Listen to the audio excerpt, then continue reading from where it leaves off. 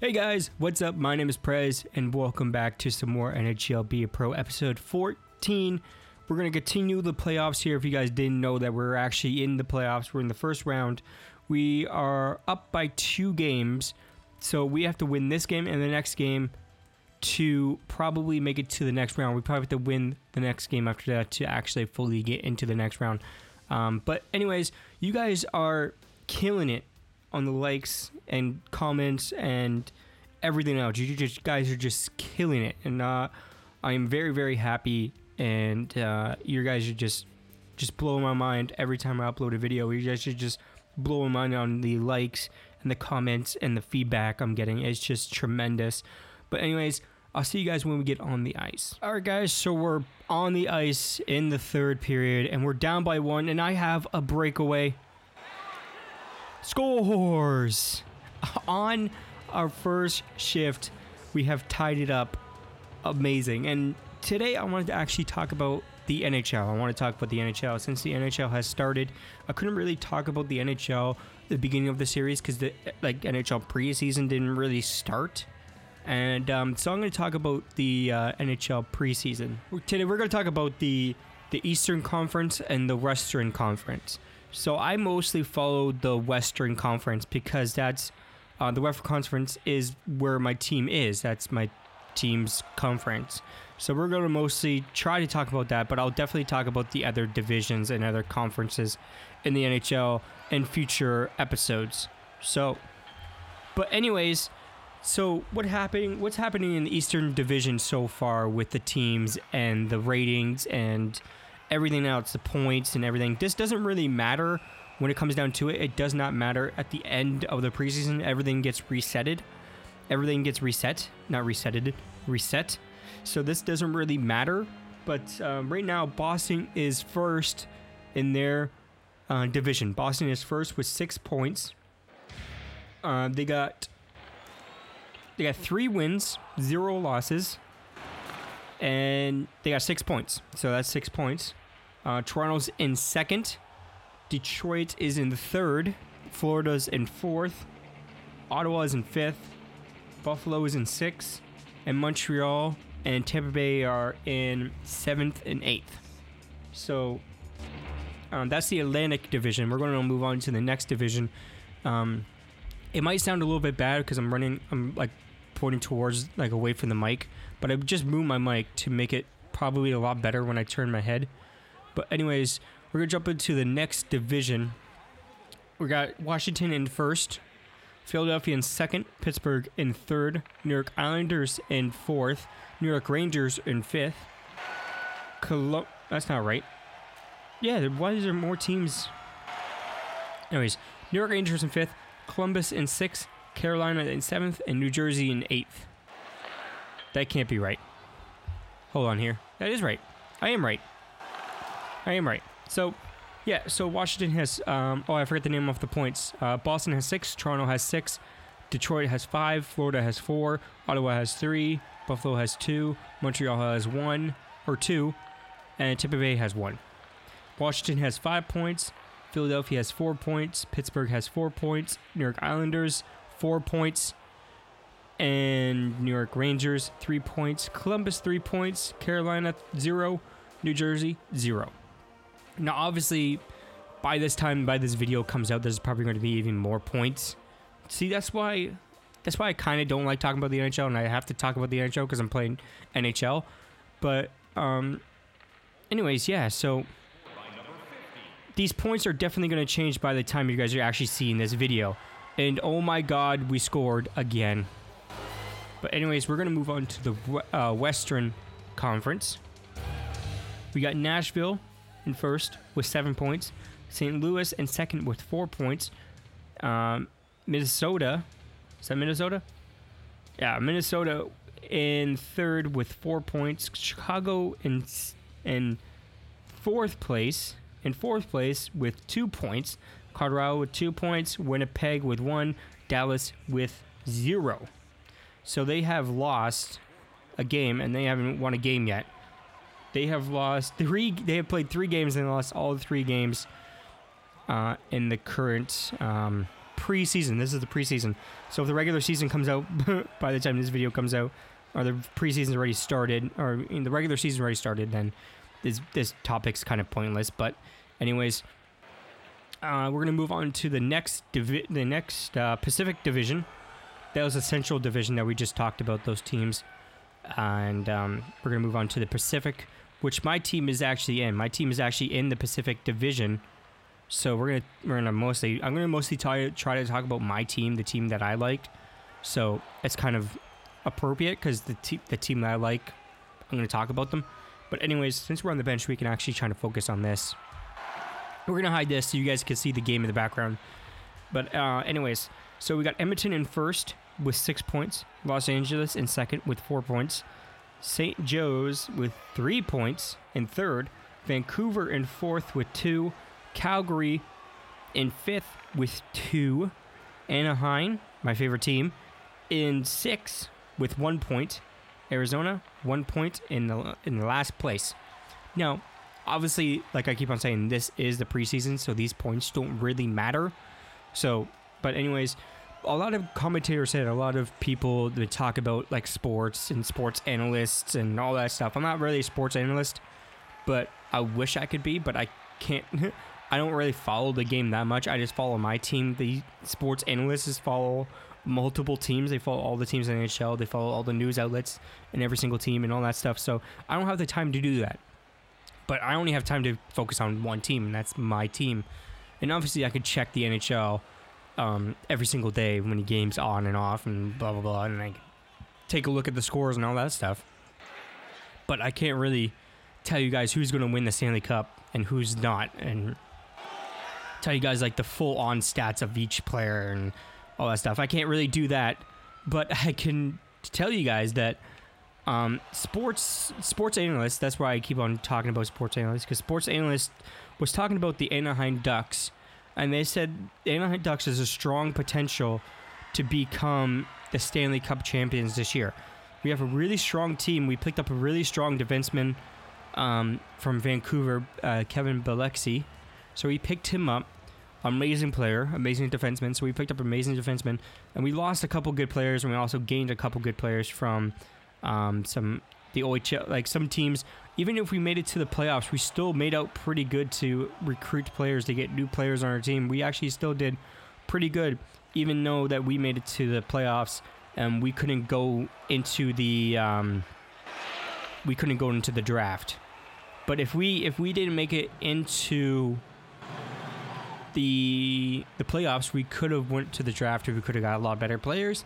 But we got good players, either overall that we didn't make it to the playoffs. So we we made it to the playoffs, but we didn't make it to the draft. That's what I was trying to say. But anyways, we picked up a couple. We picked up a lot of good players um, for this season, and I know it's a preseason, so we still have 57 people, 57 players in our training camp right now. And then in the Anaheim Ducks training camp, we still have 57 people to go through, and all those people are definitely not going to make it to the team, obviously.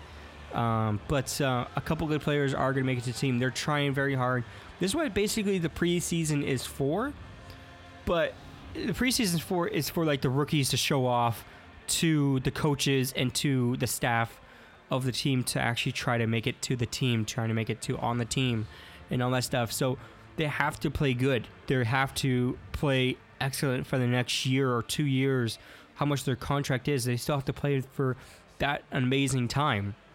So it's preseason's mostly made for the rookies, but you guys will see like main players on there, They're like the main roster basically. If your team hasn't really made it any changes to it, you guys will just see the the regular players and all that stuff. Like Chicago, you guys will see the regular players. Anaheim, you'll see a couple new players. I don't know if Chicago picked up a good players or not. A couple few players, I don't know, but I know Boston made some big changes to the roster and um, they looking they're looking pretty pretty good in the preseason. They're looking pretty awesome right now in the preseason. The roster they have is a lot faster, a lot faster than the last one they had. They're trying to get a faster team.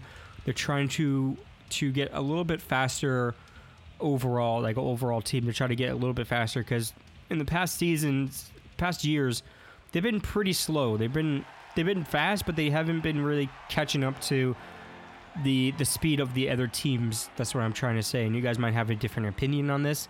Of course, you guys are subjected to your own opinions. You guys are allowed to have your own opinions and all that stuff. So, anyways, but anyways, yeah. So Boston kind of was kind of like the team.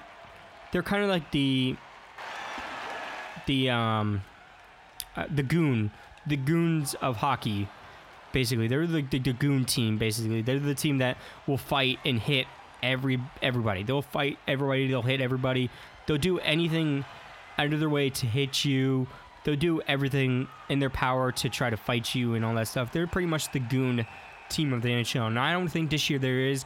They're going to be the goon team of this year. If you guys don't know what a goon is, a goon is the person who will fight a lot in the who will fight a lot and a lot of hit a lot of hits and all that stuff. They'll be the people that the team that some teams need to actually like the goons are basically the people that hit people basically. And everybody or the reinforcers. Everybody needs reinforcers on their team or enforcers or reinforcers or whatever you want to call them. They they every team needs them and so the ducks have some. Every team has some. Every team has an enforcer or a couple of them or just big guys basically. Just you just need big guys that can take a hit and that can produce a hit on the play to get the puck out to the centerman or the left wing or the the right wing or everybody anybody that's on the ice that can score and that can actually get the puck in the net. Because really the goon the goon is the person that really doesn't really shoot the puck or do any goals. They're mostly just there to fight that's basically what their contract basically says you're here to fight you're here to get hits you're here to get penalty minutes.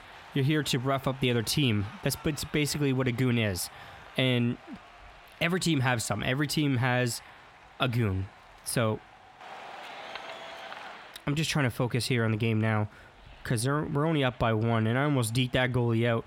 I almost deked him out, guys. Can you believe that? I almost deked him out. So tell me in the comments below, what do you guys think of the NHL preseason so far? Who who are you most in? What team are you most interested to watch? Um, I'm most actually interested to watch uh, Connor McDavid, but I know they're not going to play him on Monday. Uh, you guys are seeing this on Wednesday, of course, but uh, Edmonton's not going to play Connor McDavid on Monday for some reason. I don't know why, but they're not going to play him on Monday, and uh, they're probably just going to give him a break because he's um he is pretty big. He's going to be pretty big for Edmonton, and he's going to be basically the spokesperson for the Edmonton team. Basically, they're going to be the spokesperson for Edmonton uh, for now on because he has so much, so much hype behind him that they're gonna they're gonna expect a lot of things from this kid, and uh, it's gonna be it's gonna be amazing to watch him grow in the NHL and see how he does if anybody's going to try to take him out because there's always somebody that is jealous of what you're doing and how how good you are at that at that thing and they're getting mad because you're better better better of them like you're better at it than them. That's what i'm trying to get at. And so they're going to try to, to some players are probably going to try to take him out. Uh, it, it sucks. It sucks that you're going to have that behind their back. You're going to have that behind your back if you're NHL superstar, basically, you're going to have that behind your back that somebody's going to try to take you out. And it's just, it's awful. It's awful to, it's awful to, I can't believe I got that goal. It's awful to think about that and uh, all that stuff, but uh, it's going to happen. He's going to get an injury. He's going to slow down. He's not going to be the person that everybody expected to be. Because look at Sidney Crosby. Sidney Crosby was an amazing player. He's still an amazing player. He's still getting the goals, the points, everything. But I think after that hit, after that one hit, after that concussion that he had, it just really slowed him down. It just really just slowed him down. And it's just awful to see that happen to an amazing player and uh, all that stuff. I don't like. I like Sidney Crosby. I don't like Sidney Crosby, but I respect him as a hockey player and, and amazing skills that he has as a hockey player. But I just don't like him um, it's just one of those things that some people just don't like. Like, like I'm I'm not mad because he's better than me at hockey or anything like that, and all that stuff, or he has more money than me, and I'm just I'm not complaining about that. It's just I just don't like him. That's it. But I respect him as a hockey player and the skills that he has. Like a lot of people re- didn't like Wayne Gretzky. A lot of people didn't like Wayne Gretzky. you guys could believe that. But a lot of people didn't like Wayne Gretzky, but they respected him as a hockey player and the skills that he had and the skills that he produced in the hockey game. So he had the skills to produce hundreds and hundreds of goals every single year. But people didn't like him, but people did respect him. Now, he's an amazing hockey player, Wayne Gretzky. He is going to be he's still the best hockey player to my in my mind and to my records that he is still the best. Nobody will ever beat his records that he has. Nobody will ever beat whatever record like some I think Sidney Crosby beat like one of his records, but he's going to be great. He's going to be like he was great. He wasn't going to. He's not going to be great because he retired, but he was a great hockey player, and um, I actually have a rookie card, a rookie hockey card of Wayne Gretzky's. I have a Wayne Gretzky rookie card. That's probably worth a lot of money, but I have it and I have it locked up. So, yeah. So I have a I have a rookie card of Wayne Gretzky. Can't believe that. Actually, it's my dad's. So basically, when um, it's my dad's basically, but it's mine. Like his card collection is basically mine and his put together. So um, he collected cards over the years when he was a kid, and he watched Wayne Gretzky play, and he watched all the greats play. And his favorite player was uh, Bobby Orr that played on Boston Bruins. His favorite player was Bobby Orr. We actually got assigned. Uh, we actually met. I actually met him. Oh, my dad met him actually, and um, he actually got a picture signed by him. So we got a picture signed by him and all that stuff, and a hockey stick. But anyways, if you guys enjoy this episode of NHL Be a Pro, make sure you guys smash the like button. If we can get more than 10 likes, if we can get more than 10 likes, that would just blow my mind. And uh, I think you guys can actually get there because you guys are actually getting more than 10 likes on this series. But if we can get if we can get 10 likes on this video, that would be amazing. But anyways, I hope you guys enjoyed this video. I am Prez, and I'll see you guys next time. Peace.